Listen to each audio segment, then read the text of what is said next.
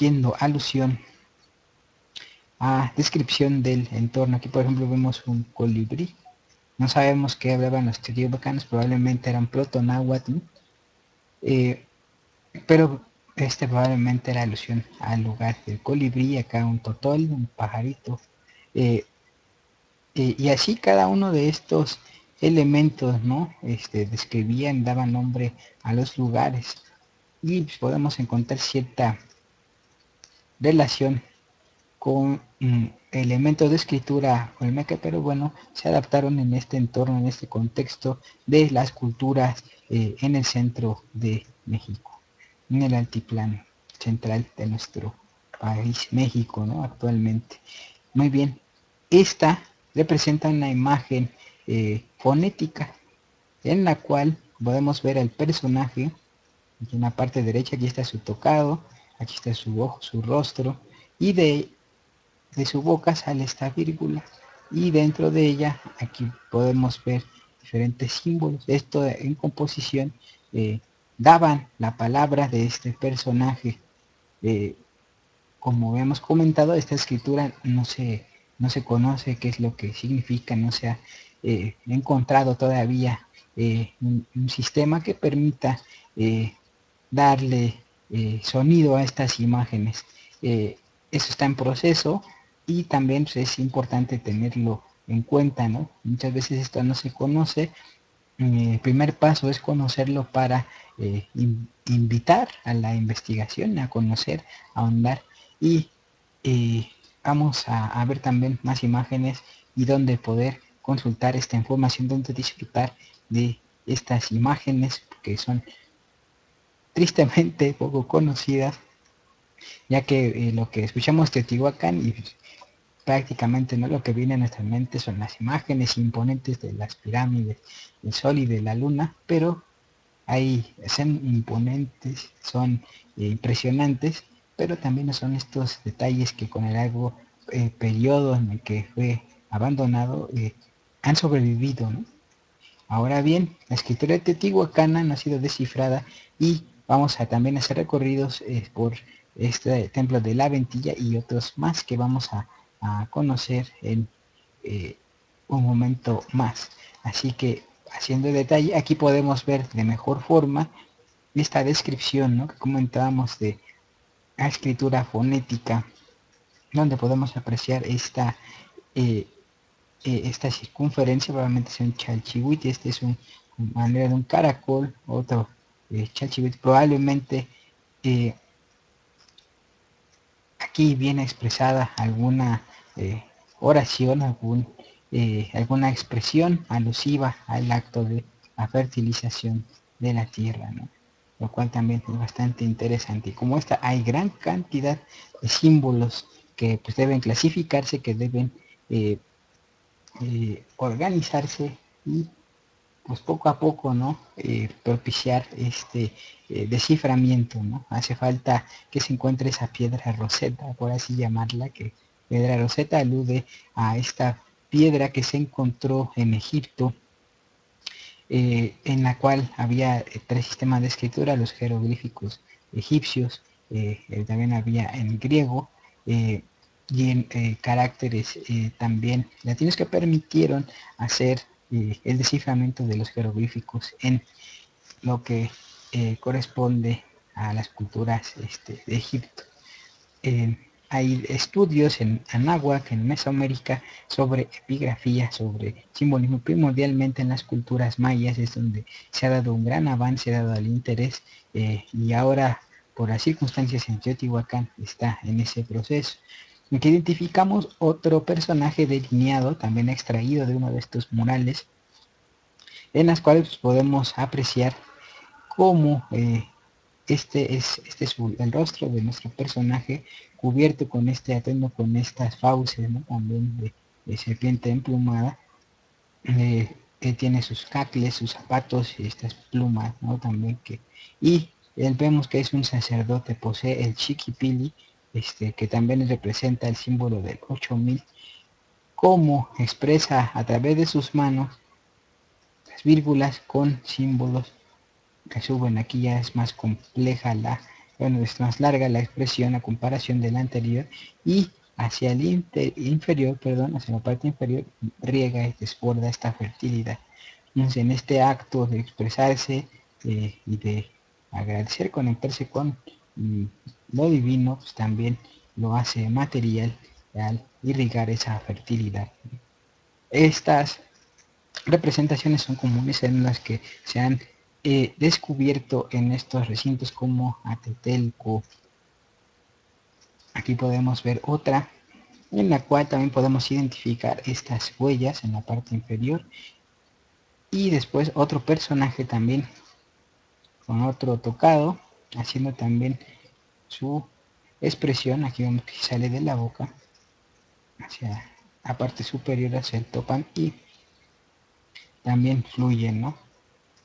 hacia la parte inferior por otro lado aquí vemos otra imagen ¿no? en la que identificamos esta escritura logográfica eh, también ¿no? con otros eh, caracteres nada más para tener esa referencia logográfica está en la alusión a estos logos si así le llamamos con esta fonética ¿no? donde la imagen se hace sonido ahora bien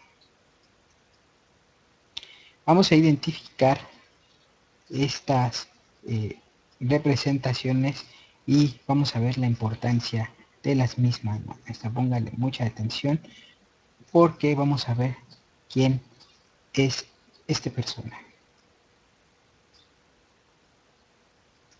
Vemos en este caso también algo común, might, mano, emblema de la creación, cómo se desarrolló en Teotihuacán. Aquí identificamos otra vez este personaje con su tocado también desplegado de forma lineal para verlo de forma completa y de sus manos brota esta fertilidad y brotan también estos símbolos de escritura fonética con contenido que aún no se conoce. Vemos en la parte inferior estas fauces, así denominamos, y como también en su pectoral lleva estos quincuns. Parece asombroso, hay un simbolismo aquí, fácil de aquí podríamos tardarnos una hora de, de explicarla, pero pues vamos a seguir con nuestro recorrido de aquí, de tomar. Este es el trazo, este es el pigmento. Vaya que, que cambia, ¿no? Y es un milagro prácticamente que esta esta pintura mural haya sobrevivido a nuestras épocas. Así que eh, aquí podemos dimensionar y llegar a comprender esta dimensión del color. Por otro lado, eh, seguimos apreciando estas manos, estas huellas, cuatro, y cómo se eh, desarrollan en este abanico que sigue eh, denominamos ¿no? a partir de este punto y su progresión. Por otro lado, aquí vemos otras manos también que eh, cargan y que enlazan estos símbolos se la tierra también con esta característica de fluidez. De aquí se tomó para tener eh, en cuenta ¿no? estas proporciones. Ahora bien, aquí podemos apreciar una de las mejores de bueno, de preservaciones que se han hecho, que se han hallado de un sacerdote también de la serpiente humano. Podemos apreciar el tocado. Este ya es una perspectiva, eh, bueno, una visión lateral con su Quetzalcopili, su atuendo tradicional, sus zapatos, igual expresando por sus manos esta escritura eh, fonética y también derramando la fertilidad hacia estos flujos en la parte inferior. Y tiene su bolsa, su chiquipili aquí. También lo que nos habla de, la importancia de este personaje. ¿no?